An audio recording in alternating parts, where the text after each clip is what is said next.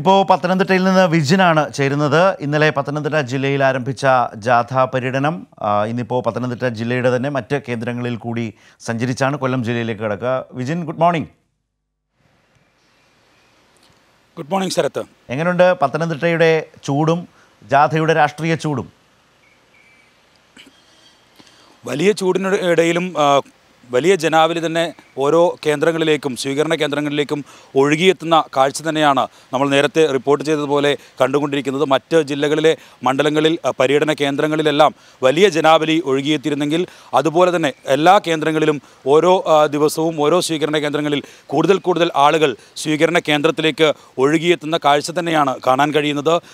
എല്ലാ സ്വീകരണ കേന്ദ്രങ്ങളിലും കൃത്യമായി കേന്ദ്ര സർക്കാരിനെതിരായി മറുപടി നൽകുന്ന കേന്ദ്ര സർക്കാരിന്റെ ക്ഷമിക്കണം സാമ്പത്തികമായി ഉൾപ്പെടെ കേരളത്തെ ഞെരുക്കാനുള്ള ശ്രമങ്ങൾക്കെതിരെയാണ് മുദ്രാവാക്യം ഉയർത്തിയാണ് ഈ ജനകീയ പ്രതിരോധ ജാഥ മുന്നോട്ട് പോയിക്കൊണ്ടിരിക്കുന്നത്. ആ ജാഥ മുന്നോട്ട് വയ്ക്കുന്ന മുദ്രാവാക്യവും അതുതന്നെയാണ്. എന്തായാലും ആ വിഷയം ഉൾപ്പെടെ നിലവിലെ സമകാലിക രാഷ്ട്രീയ സാഹചര്യങ്ങളിൽ ഉൾപ്പെടെ അഭിപ്രായങ്ങൾ കൃത്യമായി സി പി എം നിലപാടുകൾ ജനങ്ങളോട് പറഞ്ഞുകൊണ്ടാണ് ഓരോ സ്വീകരണ കേന്ദ്രങ്ങളിലൂടെയും ജാഥ പര്യടനം തുടർന്നുകൊണ്ടിരിക്കുന്നത്.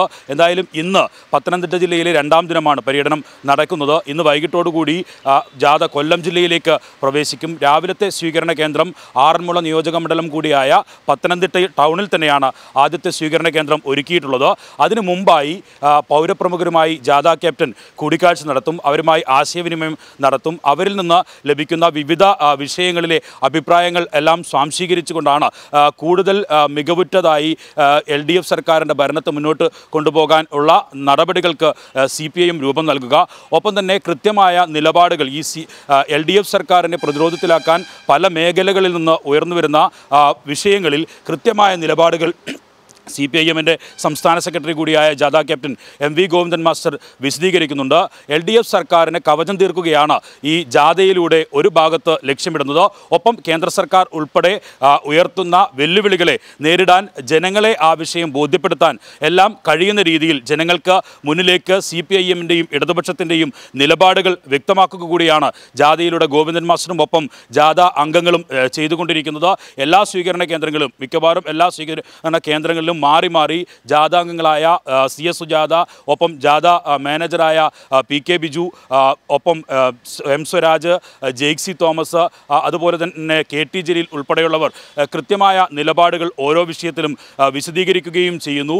വലിയ ആരവങ്ങളോടെ അതത് സ്ഥലങ്ങളിലെ തനതായ കലാരൂപങ്ങൾ ഉൾപ്പെടെ ഉപയോഗപ്പെടുത്തിയിട്ടാണ് ജാഥ ക്യാപ്റ്റനെയും ജാഥാംഗങ്ങളെയും ഈ പാർട്ടി പ്രവർത്തകരും ഒപ്പം തന്നെ അനുഭാവികളും ജനങ്ങളും വരവേറ്റുകൊണ്ടിരിക്കുന്നത്. എന്തായാലും ഇന്ന് പത്തനംതിട്ടയിലെ ആ, സ്വീകരണത്തിന് ശേഷം ആദ്യ സ്വീകരണം പത്ത് മണിക്കാണ്. പൗരപ്രമുഖരുമായി എട്ട് മുപ്പതോടു കൂടിയാണ് കൂടിക്കാഴ്ച നടത്തുക. അതിനുശേഷമാണ് പത്ത് മണിക്ക് ഈ ആദ്യ പര്യടനം. രണ്ടാം ദിവസത്തെ പത്തനംതിട്ട ജില്ലയിലെ ആദ്യ പര്യടനം പത്തനംതിട്ട ടൗണിൽ നടക്കുന്നത്. അത് കഴിഞ്ഞ് ജാഥ കോന്നിയിലേക്ക് പോകും. പതിനൊന്ന് മണിയോട് കൂടിയാണ് കോന്നിയിൽ ജാഥ എത്തുക. അതിനെയും ഇതുപോലെ തന്നെ വലിയ രീതിയിലുള്ള ആ- പ്രദേശത്തെ തനതായ കലാരൂപങ്ങൾ ഒപ്പം തന്നെ മറ്റ് പടക്കം ഉൾപ്പെടെയുള്ളവ എല്ലാം ഉപയോഗപ്പെട്ട് റെഡ് വളണ്ടിയറുടെ റെഡ് വളണ്ടിയർമാരുടെ അകമ്പടിയോടെ ജാഥയെ സ്വീകരിച്ച് ആ സ്വീകരണ കേന്ദ്രത്തിലേക്ക് എത്തിക്കുന്ന കാഴ്ചയാണ് കണ്ടുകൊണ്ടിരിക്കുന്നത്. ഒപ്പം കോന്നി കഴിഞ്ഞാൽ അടൂരിലേക്കാണ് അടുത്ത ജാഥ പോകുന്നത്. അടൂരിലോ പര്യടന കേന്ദ്രത്തിൽ എത്തുന്നതോടുകൂടി പത്തനംതിട്ട ജില്ലയിലെ ജാഥ പരിപാടികൾ അവസാനിക്കും. അതിനുശേഷം ജാഥ കൊല്ലം ജില്ലയിലേക്കാണ് കടക്കുക. പത്തനാപുരത്തേക്കാണ് ജാഥ. കൊല്ലം ജില്ലയിൽ ആദ്യ സ്വീകരണ കേന്ദ്രം ഒരുക്കിയിട്ടുള്ളത്. അവിടെയും വലിയ ജനാവലിയുടെ നേതാക്കളുടെയും എല്ലാം സന്നാഹത്തോടെയാണ് ജാഥ ക്യാപ്റ്റനെ സ്വീകരിച്ച് ഈ പത്തനാപുരത്തെ വേദിയിലേക്ക് എത്തിക്കുക. ഒപ്പം പത്തനാപുരം എം എൽ എ ഉൾപ്പെടെ ഗണേഷ് കുമാർ ഉൾപ്പെടെയുള്ളവർ ജാഥയെ സ്വീകരിക്കാൻ എത്തും. ഇത്തരത്തിൽ വലിയ രീതിയിലുള്ള ഈ പത്തനംതിട്ട ജില്ലയിലെ മൂന്ന് സ്വീകരണ കേന്ദ്രങ്ങളിലെ പര്യടനം പൂർത്തിയാക്കി കൊല്ലം ജില്ലയിലേക്ക് ഇന്ന് കടക്കും. എന്തായാലും ഇന്നലെ ഉൾപ്പെടെ അമിത്ഷാക്ക് ഉൾപ്പെടെ മറുപടി നൽകിയത് മിനിഞ്ഞാന്ന് തൃശ്ശൂരിൽ അമിത്ഷായും ഒപ്പം സുരേഷ് ഗോപി ഉൾപ്പെടെയുള്ള ബി നേതാക്കൾ നടത്തിയ പരാമർശങ്ങൾക്ക് കൃത്യമായ മറുപടി അത് നീട്ടിയും കുറുക്കിയും ഗോവിന്ദൻ മാസ്റ്റർ നടത്തുകയാണ് ചെയ്തത്. ജനങ്ങളോട് സംവദിക്കുന്ന രീതിയിലുള്ള പ്രസംഗമാണ് ഗോവിന്ദൻ മാസ്റ്റർ നടത്തിക്കൊണ്ടിരിക്കുന്നത്. എൽ ഡി എഫ് സർക്കാർ ചെയ്തുകൊണ്ടിരിക്കുന്ന കാര്യങ്ങൾ എന്തൊക്കെയാണ് എന്ന് കൃത്യമായി വിശദീകരിക്കുന്നതിനൊപ്പം ജനങ്ങളിൽ നിന്ന് ജനങ്ങളോട് ഒരു സംവദിക്കുന്ന രീതിയിലുള്ള പ്രസംഗം അത് ജനങ്ങളുടെ കയ്യടിയോടുകൂടി അംഗീകരിക്കുന്ന കാഴ്ച തന്നെയാണ് കണ്ടുകൊണ്ടിരിക്കുന്നത്.